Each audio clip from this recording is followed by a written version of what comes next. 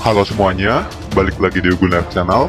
Kali ini kita akan membahas tentang BPP2 Yuan Arhanu 2 Marinir melaksanakan latihan lanjut. Oke, sebelum masuk ke pembahasan, alangkah baiknya untuk subscribe di channel ini supaya berkembang menjadi channel yang lebih baik.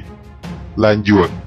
Menjelang latihan satuan lanjut 1 aspek darat dan laut tahun 2020, Batalion Arhanu 2 Marinir mengasah naluri tempur prajurit dengan latihan gelar satuan tembak di Kesatria Marinir Sutedi, Sanaputra, Kalangpilang, Surabaya, Jawa Timur pada Kamis 17 September 2020.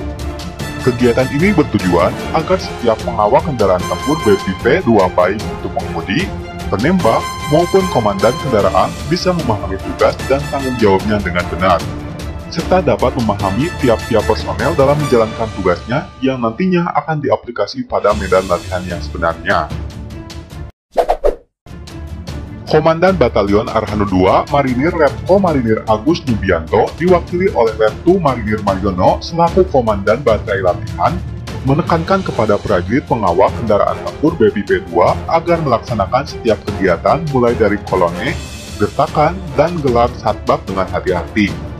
Walaupun kondisi cuaca panas, prajurit Raksa Buana Sakti, slogan Batalion Arhanu 2 Marinir tetap melaksanakan latihan ini dengan semangat dan serius, namun harus benar-benar mengutamakan faktor keamanan serta prosedur yang telah diberikan agar kegiatan ini bisa berjalan dengan aman dan lancar. BPP-2 merupakan tank APC atau Armored Personnel Carrier berkualifikasi amfibi dengan senjata utama cannon otomatis 2A42 kaliber 30 mm untuk menetralisir sasaran di darat maupun sasaran di udara dekat.